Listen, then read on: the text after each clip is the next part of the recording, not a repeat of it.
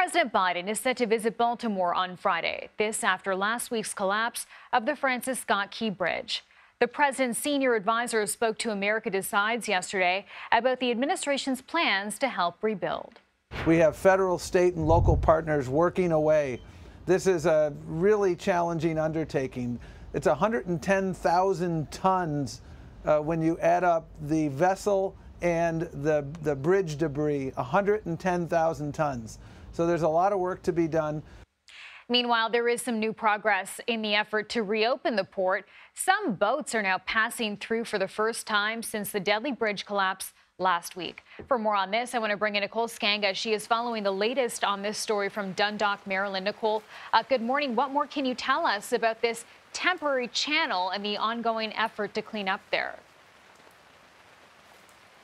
Good morning, Chanel. There is a new alternate channel open for business for smaller vessels that can operate in shallow waters. The deck there just 11 feet, but it's a 264 foot wide passageway that hugs the northbound, still standing remnants of the Francis Scott Key Bridge. And it, uh, again, allows some of these smaller vehicles, tugboats that are pulling smaller commercial barges, uh, some of the first responder vessels as well, traffic to and fro around the bridge. That started just yesterday at 3 p.m.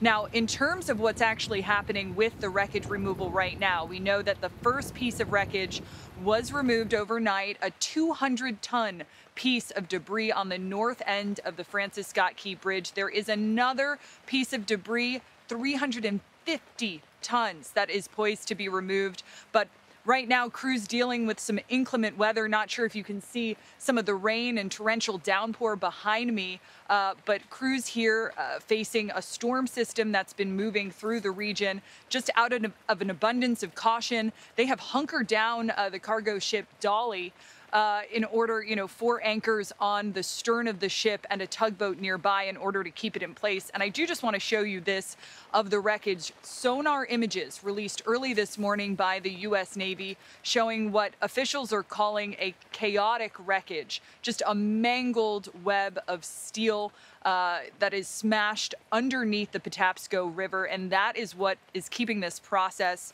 uh, at bay here. Uh, officials say that this is an incredibly dangerous and incredibly precarious operation. Wow, these images, Nicole, are just stunning, and it just does show, again, what a big job still lies ahead. And until everything is fully operational, Nicole, uh, what are officials doing to mitigate the economic impact there?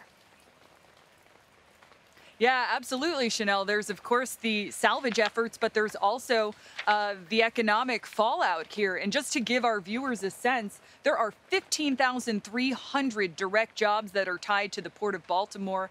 Uh, 140,000 jobs that are linked to port activities. That all adds up to about $3.3 billion in personal income over the last year. Now, just yesterday, uh, Baltimore and uh, the Small Business Administration at the White House announcing that two new storefronts are opening in the Baltimore area to assist small business owners who are applying for loans for the short term.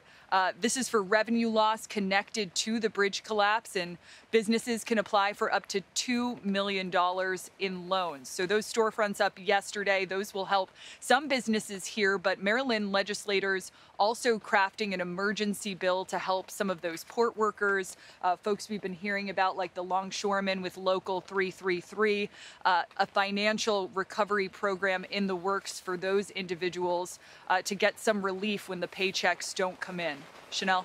Okay, Nicole Sganga, thank you.